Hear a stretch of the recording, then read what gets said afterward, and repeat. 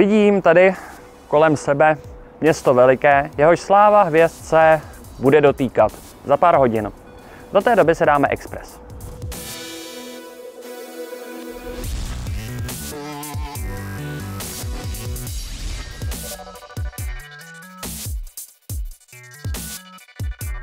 Pražský dopravní podnik nechá kompletní rekonstrukci dalších dvou tramvajových vozů provést ostravskou Ekova Electric.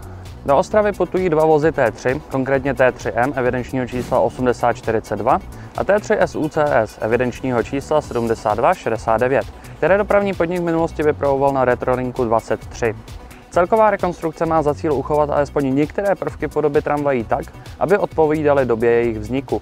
Obě tramvaje již z Prahy odcestovaly a vrátit by se měly zhruba za 11 měsíců. Divili jste se, proč jsou v Praze některé vyhrazené pruhy pro autobusy směrem dolů z kopce?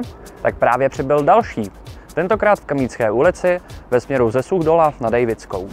Tento buspruh se předává po bok Vysočanské nebo Českobrodské ulice, kde byly taktéž v minulosti zřízeny vyhrazené pruhy směrem dolů z kopce za cenu zrušení stoupacího pruhu v opačném směru do kopce.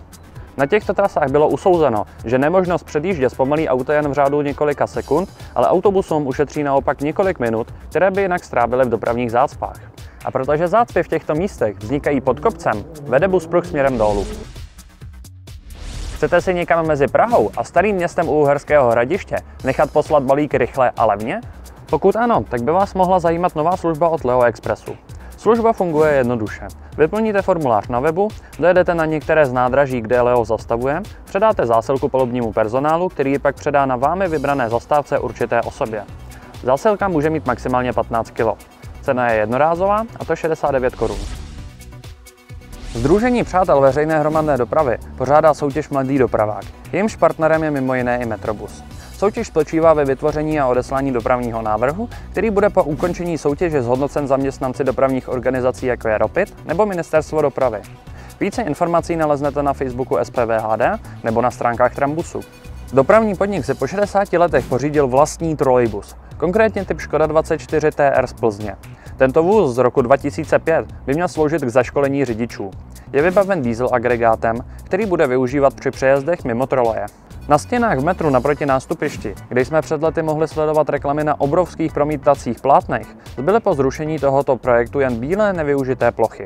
A nyní se na nich objevily umělecké obrazy s motivy hromadné dopravy. Projekt zvaný Umění za čárou poběží do konce roku a prohlédnout si jej můžete ve stanicích Můstek, Florence, náměstí Republiky a Karlovo náměstí. Dozorčí rada dopravního podniku odsouhlasila priority rozvoje dopravní infrastruktury na rok 2020 a na prvním místě stojí lanovka z Podbaby do Bohnic. Následují některé tramvajové tratě, ovšem severní tramvajová tangenta z Kobylis přes Bohnice do Dejvic nikde uvedená není. Její realizací tak v blízké době skutečně nemůžeme počítat. Dnes v noci skončila výluka mezi Malostranskou a Chodkově sady, o které jsme informovali na Instagramu.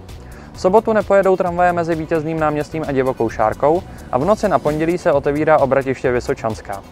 Celý víkend bude opět uzavřena stanice metra Opatov, příští sobotu nepotkáte tramvaje na Vltavské a v průběhu pondělí začne výluka u vozovny Strašnice, která potrvá do 4.6. a o které budeme více informovat na našem Instagramu. Express byl tak rychlý, že se ani nestačilo setmět a tím pádem budu na hvězdy čekat už bez vás.